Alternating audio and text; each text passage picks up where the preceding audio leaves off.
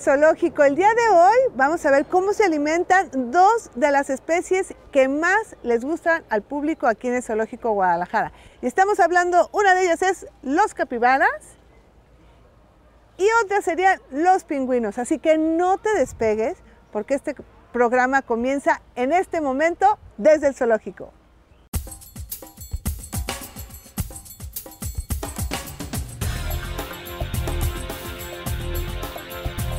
Ahora tenemos tres diferentes vitaminas. Entonces, a los que... Bueno, tenemos una tablita porque ahora rotamos las vitaminas. Estas vitaminas junto con estas otras vitaminas se las damos diferentes días de la semana.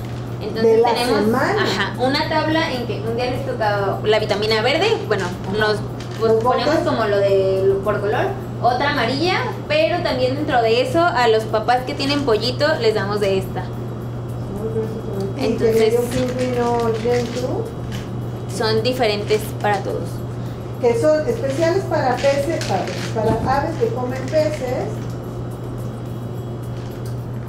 que, son este, pequeñas presas o qué dice? Estas son la diferencia, bueno, la diferencia que tienen estas a estas es que no tienen vitamina A. Ah. Entonces... Ah. Muy bien, entonces ¿no le toca cuál? A los adelis no les toca vitamina, pero por ejemplo los que todavía tienen domi o huevos, sí les damos neurobión. ¿Qué es domi? Eh, como huevos falsos. Ah, ok. Les damos no solamente neurobión, a los que tienen algún otro tratamiento les damos el tratamiento aunque no les toque vitamina. Y a los les toca amarilla, que es esta de aquí. ¿Qué más? Más sus tratamientos. Ay, qué lindas son estas pequeñitas. Sí, de esas, dos de estas equivalen a una de estas grandes. ¿Y se las hace así como plunk? En el pescado siempre. Ah, claro, sí. Si no te las escupen. O no sabes a lo mejor de que tú se la diste, pero si se les atora y luego la avientan, pues ya no te diste cuenta. ¿Y esta cómo es? ¿Puedo verla? Claro.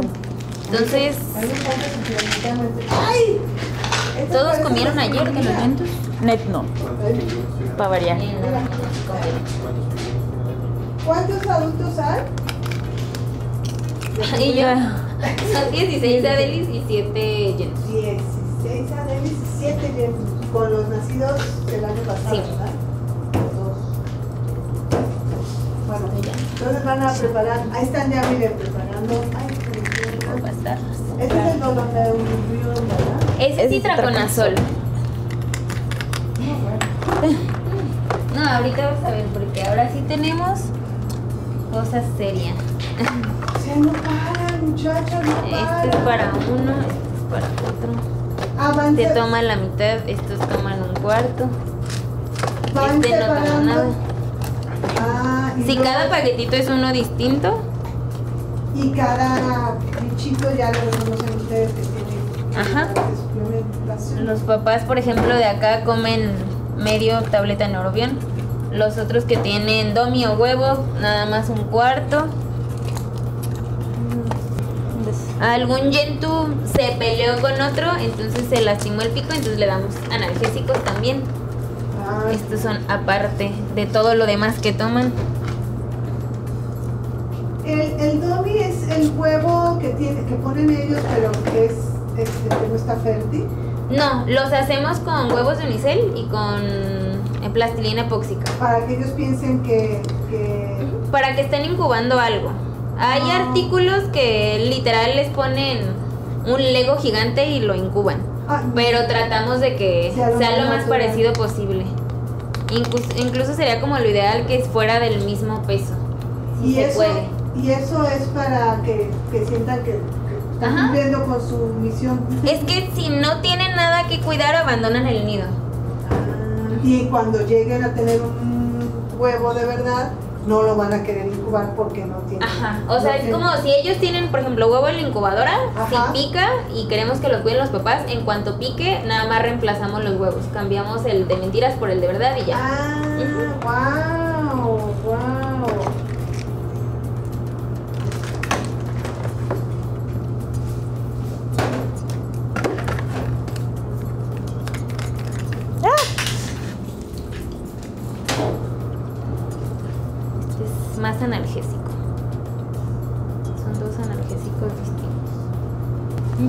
Eso me encanta. Tienen el guante para no sé qué, el guante para no Ya sé modificamos nuestro ver, tenderete. Lo de lavar ya todo está aquí y lo de alimentar allá. Estos son guantes de alimentación y estos son Para guantes de lavar los trastes. Para lavar los trastes. Y tienen jabón de los utensilios humanos, Ay, jabón faltaron de los las. utensilios las Las de Marvin y Astrid. ah, ¿Cuáles son? Las Y chiquitas. déjenme decirles, Ah. Ellas no saben que, que venimos y siempre está todo, así como lo ven, todo limpiecito, todo. O sea, aparte de, aparte de tener que estar cuidando todos chamacos y adultos, todavía tienes que tener limpio, sobre todo esta área que es el área de alimentación, en donde, bueno, pues va directo a los, los pingüinos. Y luego la gente pregunta, ¿por qué se les alimenta a los pingüinos en, la, en, la, en el pico? ¿Por qué Fátima, se les alimenta en el pico a los, a los Para asegurarnos de que todos hayan comido y poder tener un poquito más de control en la cantidad de alimento que están ingiriendo. Porque también tienen bitácora donde ponen. Lo- la can- el peso, donde ponemos qué tanto comieron el día anterior, si están vitaminados, si están bajo tratamiento, todo eso se debe de mantener bien vigilado. Sí, sí, está bollada también. Cambio. Entonces, pues lo mismo de que. ¿Quieres hacer estas? Ah, pues ya la. De que elegimos el pescado más grande y, más más, bonito. derechito. Entonces ya nada más le abrimos un pedacito. Y ese va, ya ahorita ya este, este pescado está seleccionado, ya Ajá. revisaron que las agallas, fíjense, a ver si aprendí, que las agallas estén bien, que los ojos estén brillantes, así es. que la piel se vea bien. Ujú. Y Una- que estén firmes, que estén derechitos. Los más bonitos son los que siempre vamos a seleccionar para que a los pingüinos se les hagan más apetitosos y se los quieran comer. Sí, sí han visto así como que "Ah, este no me gustó. Eh, como cada pues como cada uno de Como nosotros, cada cada pingüino tiene su personalidad. Eh, por ejemplo, a Tulio le gusta dar que le demos los pescados de esta manera, no le gusta que se los demos así. Entonces, Ah. para él lo ideal es que estén un poquito más aguaditos. En cambio, Steve es de eso está aguado, no me voy a comer eso. Entonces, también tenemos que saber qué tipo de pescado le gusta a cada pingüino. Y hay otra cosa es que deben de reconocerlos perfectamente Así es. para saber. También. Ahí Dani ya está metiendo, ah, pues las dos ya están metiendo la suplementación. Que yo creo que eso, es- eso deberíamos aprender nosotros a suplementarnos también. Eh, aparte de la alimentación sana, pues hay que suplementarnos para ayudarle a nuestro cuerpo a que esté en mejores condiciones, a que nuestro sistema inmunológico esté pues vigente, fuerte para hacerle frente a todos los a todo lo que pueda pasar en alrededor. Yo sigo con las manos en bolsa, porque aunque ya no hace tanto frío aquí, se siente pues todavía. Tengo los pies helados. Y ahorita les vamos a ir a ver cómo es que alimentan a los otros. Seguimos desde su lado.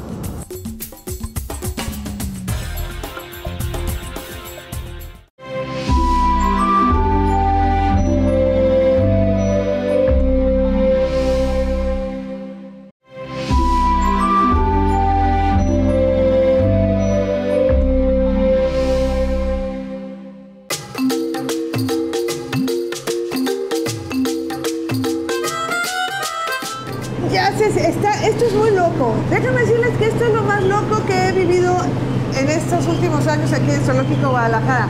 Mientras en este pequeño espacio uno mete la mano y se siente completamente cálido, ¿estamos a cuánto, Fátima, aquí? adentro? Aquí debe de estar entre 23 a 26 grados centígrados. 23 a 26 grados centígrados, es una temperatura muy a gusto. Así, en- así era Guadalajara antes, que era templada, a gusto. Y aquí afuera, Estamos aproximadamente a uno. a un grado. Un Y lo que más me impresiona, aparte de- del cambio, de que aquí está calientito y acá está frío, es lo que han crecido estos crías. En primera ya tenemos otro yentu. Así es, es un pollito yentu, ya tiene cuatro días aquí en la criadora con nosotros y empezó a picar el huevito hace seis días. Y tenemos otro que ya súper creció. Sí, ya creció bastante de la última vez que Hace viniste una a verlo. que lo vi, Fátima, y es enorme. Sí, ya está muy grande. Y lo, y lo padre es que podemos verlo con el chiquitín que está a un lado, que tiene dos días de... de- Cuatro días Cuatro días de que que- salió del huevo. Junto con el otro se ve cómo crecen. Sí, se ve la diferencia. Sabemos que los pingüinos por vivir en lugares tan agrestes, tan difíciles, tienen que crecer. Así es, tienen que crecer lo suficientemente rápido para que eh, tengan su plumaje listo para cuando sea momento de ingresar al agua y que ellos busquen su propia comida. Y ahora vamos a ver la pollada. La ya to- polliza. también hace una semana vinimos y creció todo. O sea, ya todos se emparejaron. Sí, ya. Es impresionante. Ya estamos viendo. Hola, Paola. Ya todos están del mismo tamaño. ya todos están del mismo tamaño. ¿Cómo los reconocen? Ese es. Eh, este, si te fijas, algunos ya tienen su bandita de identificación. Ah, sí, sí, sí. Entonces, para nosotros es una manera rápida para identificarlos visualmente, aunque bueno, el estar con ellos todos los días, pues podemos saber de quién se trata Ese es el cada más quien. grande, ¿no? El Ajá, primero. exactamente, este es el primer pollito que Es, eclosionó. lo- es el único que reconozco porque todos ellos, la semana pasada, había unos más chaparritos y otros más grandes. Así y es. ya se, se, se pusieron emparejados. Ya aparecen todos del mismo tamaño. Y lo interesante es que ya a esta edad ya los sacan para que el público los vea, ¿verdad? Así es. ¿En qué momento quitan, ya van a quitar el, el- o, o siempre va a seguir con el corralito? No, ya de hecho próximamente. Probablemente como en una semana, de hecho vamos a hacer otro corral como para los pollitos más grandes. Ah, claro, uno, uno como para... son de muchas edades, Ajá. unos se van a quedar aquí y en la parte que tenemos más al frente vamos a poner piedras y los más grandecitos van a ir para adelante y los bebés se quedan aquí. Ah, también ya le bajaron aquí para que la gente los pueda ver, claro. Pues ahí van, ahí van. Y todavía tenemos pollos por nacer. Uno, un Tenemos yentu. un pollito yentu por nacer acá. Está ahorita incubando sus papás y tenemos aún tres huevos en la incubadora. que no sabemos si se van a, lograr. Pues sí, pero Esperemos. Pues ya con estos tienen suficiente. Aquí hay Seis. ¿Seis? Seis pollitos. siete, ocho. El otro sí El también otro, si se logra. Acuérdense que, que sí. que no sabemos si se, se vayan a lograr todos, esperemos que sí. Pero cuando estén todos va a ser una preciosidad verlos aquí todos correr, todos piar. Ahorita están como. Lo único que piden es comida. Ah, Chamacos dragones. Ay, ay, ay. Ya les toca de comer Ah, razón, precisamente. pues las dejamos para que les den de comer y nosotros seguimos desde el zoológico porque ya me estoy helando.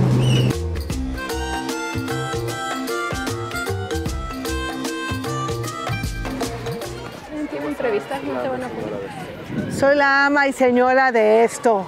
Bueno, estamos aquí en el albergue de capibaras.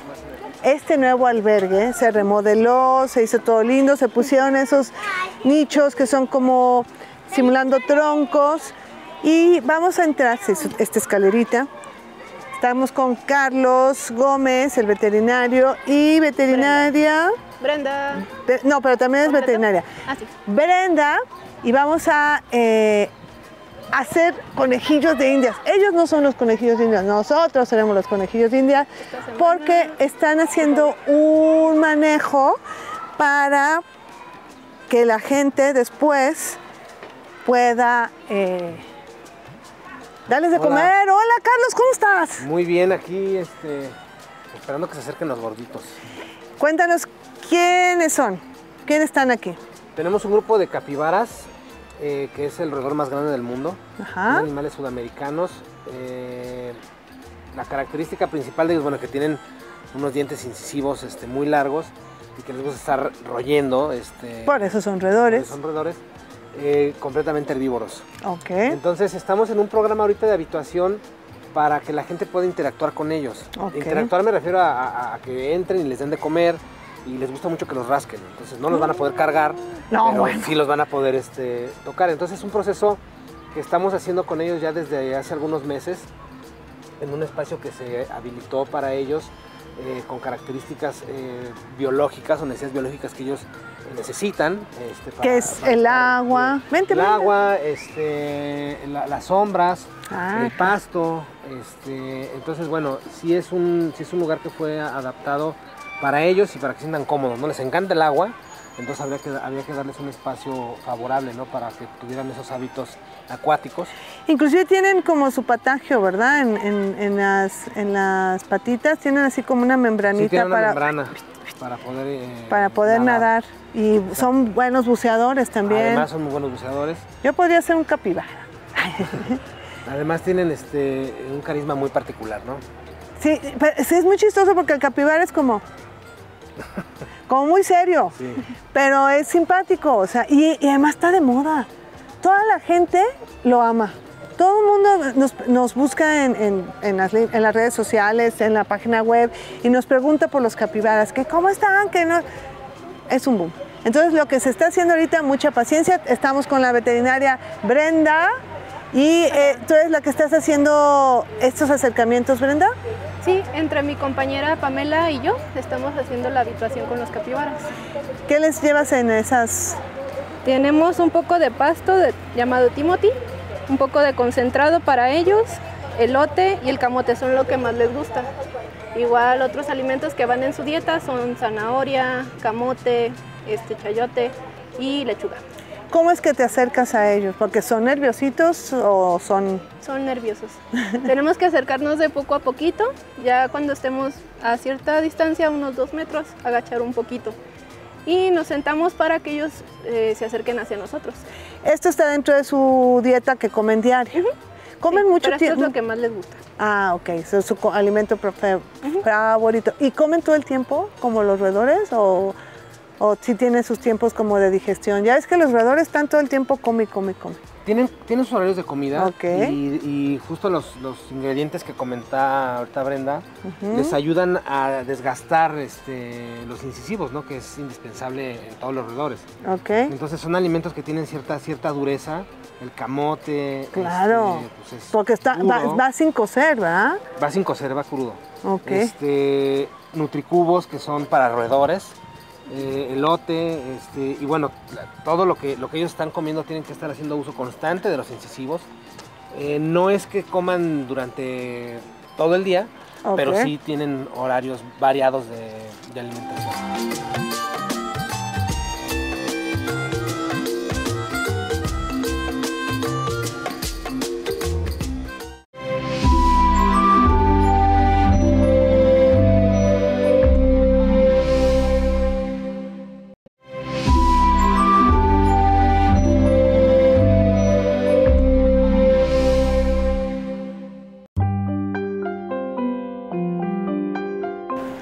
Presumir algo, porque si hay algo que me gusta es presumir al Zoológico Guadalajara. Y déjenme decirles que el pasto Timothy es un pasto importado.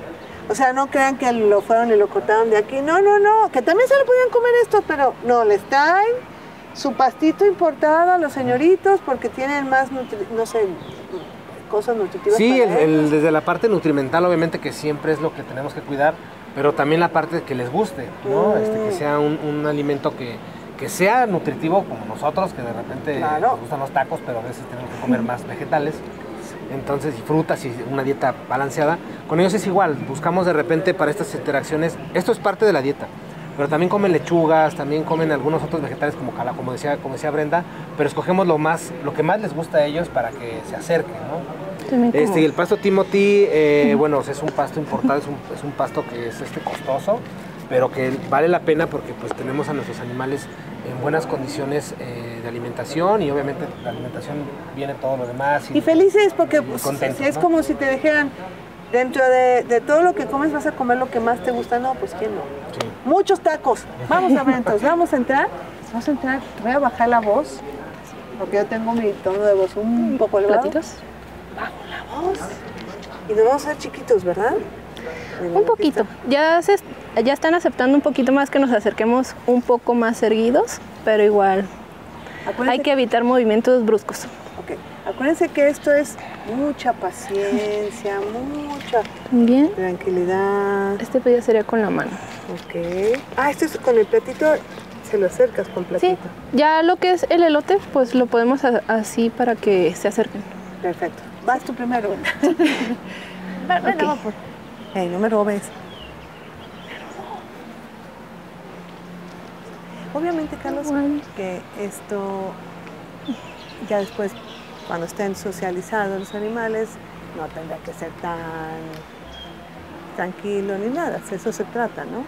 Sí, el tema es que estos animales este, no tenían como una habituación, eh, no, no Estaban se había hecho este trabajo de Ven gordita. estar, este, de estar pues, ahí, que se observados. Claro. Recordemos que estos animales a final de cuentas son presas, ¿no? Y Claro. nosotros, este, y pues que tienden a ser nerviosos porque son cosas nuevas y nosotros que no Vamos, nena. familiares biológicamente en ellos.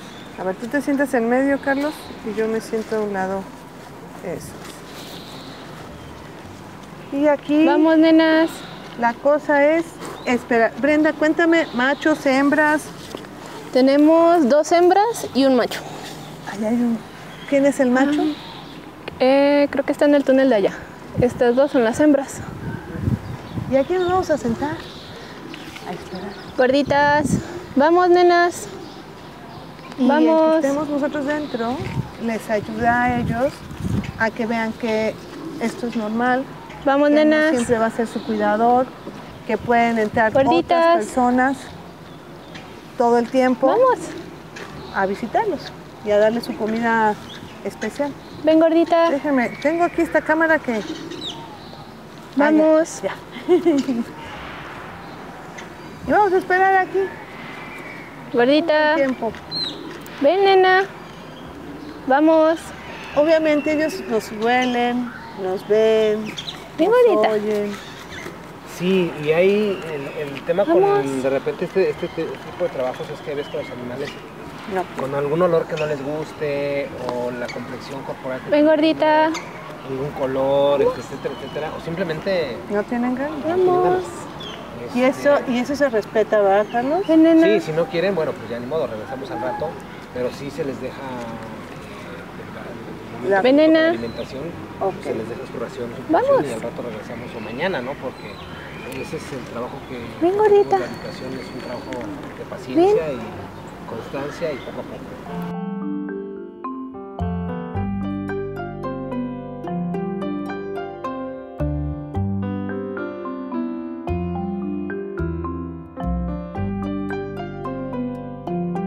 Pues en resumen creo que fue una buena sesión, ¿no? ¿Cómo la viste, Carlos?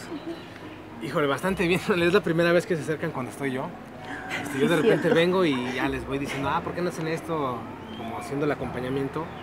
Pero es la primera vez que se acercan este, estando yo. Ya había entrado varias veces y no, no se acercaban, ¿no? Lo que quiere decir que de repente van teniendo más familiaridad con, con gente este, extraña Ajá. y que de eso se trata la- los procesos de habitación, que se ven eh, acostumbrando a eh, todo esto que pues, de repente es nuevo para ellos. Sí, se acercaron bien, nada más pues la primera Capi fue la que nos evitó, a lo mejor porque vio muchas personas, no sé, que ya hemos estado con todo el público y se han acercado a Sí, pesar porque- del ruido. Porque yo oí que estaba el público interactuando con nosotros, diciendo que, que le estábamos dando de comer y todo eso, y eso necesitan oírlo porque eso es lo que van a estar, ese es su ambiente, ¿no? Ese es su, es. su entorno. Entonces tienen que estar seguros que ahí están seguros y que la gente que entra nada más va a conocerlos, a rascarles y a darles alimento, ¿no? Así es. Y es una tarea bastante complicada, ¿no, Carlos? De que se lleva tiempo, que se lleva dedicación, como todos los manejos aquí en el zoológico. Sí, y sobre todo que también nos sirva a nosotros para eh, habituarlos y sensibilizarlos a muchas cosas, ¿no? Eh, ahorita estamos en esta, esta habitación, pero ya también permiten embarques voluntarios, este, revisiones. El que les pongamos las manos encima también es para revisarles que no tengan alguna bolita, algún crecimiento, alguna lesión. Eh, uno de ellos ya se deja tomar muestras de sangre. Este, entonces, bueno, nos sirve también para la parte de cuidado físico de ellos, estimulación mental y obviamente para aprender más de los animales que tenemos Claro. aquí en Zoológico Guadalajara. Qué mejor que estar tan cerca de un animal y, y poderlo ver, así como yo lo estaba viendo las orejitas, y que Brenda iba diciéndome cada característica para qué le servía, ¿no? Que la nariz así, que las Eso orejitas así. Ese es el ladrido, se asustó ahorita. Entonces todo esto nos va indicando este, esos, para eso son los manejos, para eso son la- las interacciones con, con, este, con público, pero también para las cuestiones médicas que son muy importantes, que es cuando se, se ponen súper nerviosos los animales y odian a los veterinarios, pero ya aquí se hacen amigos, ¿no? Ya, libramos asperezas. Muy bien, pues muchísimas gracias. La pasamos padrísimo. Vamos a darle seguimiento para ver cómo van avanzando estos tres. Y nosotros seguimos desde el zoológico. Gracias, chicos. Gracias. Vámonos.